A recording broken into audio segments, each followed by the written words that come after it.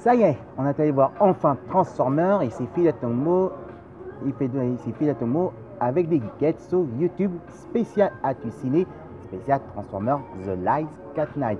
Alors vous allez me demander qu'est-ce que j'ai pensé? Et ben premièrement c'est wow et deuxièmement c'est wow. Il est vraiment génial. Enfin on a trouvé les vraies histoires d'origine dans l'esprit de Steven Spielberg que côté version Michael Bay. Excusez-moi un petit peu tout parce que j'ai train de euh, faire une pause justement. Alors que j'ai pensé exactement? Eh ben, en tout cas, c'est beaucoup plus mieux que les autres euh, euh, plus côté des épisodes précédents justement. Il est vraiment génial, on peut dire. Et enfin, on a trouvé l'histoire, l'émotion du début jusqu'à la fin.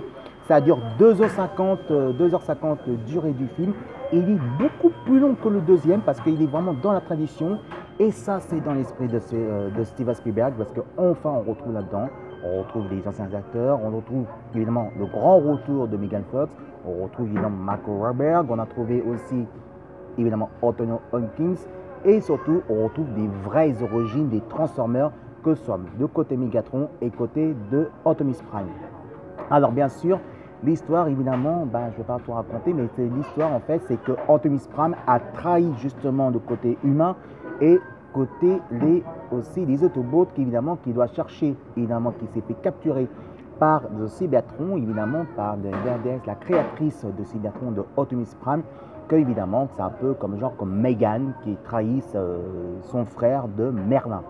Enfin, on peut dire que ça suit évidemment plus dans l'esprit de l'histoire de la légende du roi Arthur jusqu'à nos jours.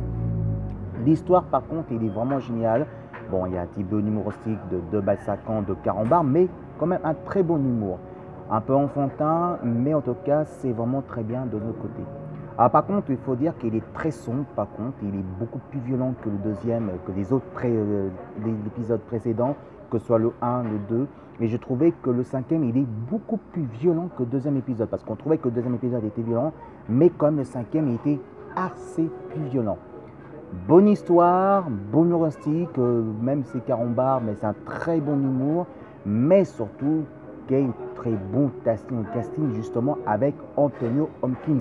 Pour la première fois, on découvre Antonio Hopkins qui joue vraiment ce rôle-là, même en bien vieillissant, il joue comme il est comme un enfant. C'est un pur délire. En tout cas, c'est clair que moi, que je trouvais que c'est un peu dommage dedans, on ne voit pas beaucoup Optimus, euh, Prime, on voit beaucoup plus, dans, euh, plus côté du projet du film, de l'histoire entre euh, Michael Bay, et, entre Michael, non, entre Mark Wahlberg et bien sûr euh, Bobby, excusez-moi, j'ai été un peu fatigué parce que c'est l'émotion, hein, voilà, qu'on peut dire. Mais euh, c'est dommage qu'on ne voit pas beaucoup plus côté dans l'histoire de Optimus Prime parce qu'on trouvait qu'évidemment qu'il est s'écarté un petit peu dans, le projet.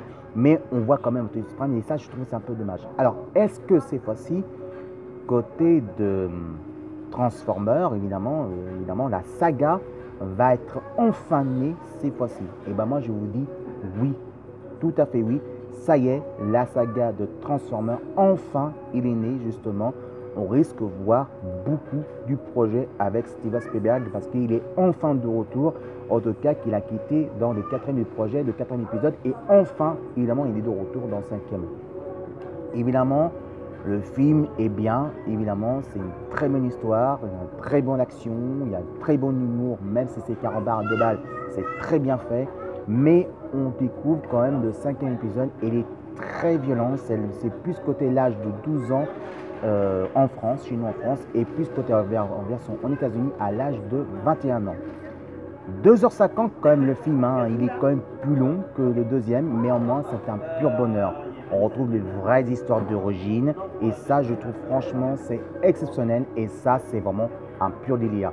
Moi j'ai duré de début jusqu'à la fin, on a trouvé des vraies histoires. Fini les blagues de carambar euh, mauvais que le quatrième épisode, on retrouve mieux. Et fini la blague de carambar de cucu de troisième épisode, on retrouve comme les on retrouve enfin comme les deux origines, le premier et le deuxième dans une vraie histoire du Transformer. Cette fois-ci, on va s'écarter un petit peu de jeu de notre enfance, on va s'écarter côté plus côté des comics, des versions comics, versions de films, euh, comics de version de Marvel Cette fois-ci, on va plus plonger entre cinématique et plus côté c'est euh, l'esthétique de cinéma de cet d'art et plus côté scénéras de version Transformer. On retrouve aussi euh, quand même un petit peu qu'on a vu de Christopher Nolan qui joue de, qui a fait un partie de l'équipe et on voit évidemment que c'est vraiment 100% cinéma et c'est plus côté de jouer de notre enfance et ça c'est très bonne nouvelle. La grosse question, évidemment, est-ce qu'on risque d'avoir le sixième épisode? Eh bien, évidemment, bien sûr que oui, il risque le sixième épisode parce que ça y est, le film, on, a adoré, on risque de voir le sixième épisode et ça, c'est une très bonne nouvelle. Voilà, c'était Filet Tomo et les, et geekettes. Et justement, je vous retrouve ce soir pour le grand retour des grands classiques de 100% geek. Cas, il y aura de cinéma, il y aura des jeux vidéo, il y aura aussi des youtubeurs et youtubeuses qui vont faire rêver, découvrir des nouveaux jeux. On va parler aussi des consoles mais peut-être aussi une nouveauté, quelques surprises, je ne vous dis pas plus. On verra ce soir. Et ça, ça sera différent que Club Dorothée, mais des nouveautés en avec 100% Culture Geek. Et c'est passé, on quitte le Club Dorothée, on est dans Monde Geekette avec la tradition Culture Geek. Allez, je vous retrouve ce soir à 21h. Et dans 15 jours, évidemment, je verrai moi, moche et méchant 3, évidemment, et ça, ce sera vraiment quelque chose. Il y aura d'autres, on va voir Spider-Man, et n'oubliez pas qu'à partir du 6 au 9 juillet prochain, moi je ne serai pas, évidemment, mais moi je vais faire un grand plaisir de présenter la vidéo le samedi et le dimanche, et aussi la page de Facebook, évidemment, la presse. Évidemment, n'oubliez pas que c'est la centième anniversaire de Jean Patoche, évidemment, le centième anniversaire de Animé. Et aussi du 1er au 31 août à Carré-la-Soie, c'est en fait également il y a l'exposition de journal de Mickey. Évidemment que ce sera du 1er juillet au 31 août et ce sera à Carré-la-Soie, c'est l'exposition de journal de Mickey de notre enfance. Voilà. Allez, je vous dis à ce soir à 21h sur YouTube, en tout cas pour 100% Culture Geek. Allez, filez et les geekettes pour Messenger Facebook et YouTube. Allez, à ce soir. Je vous aime.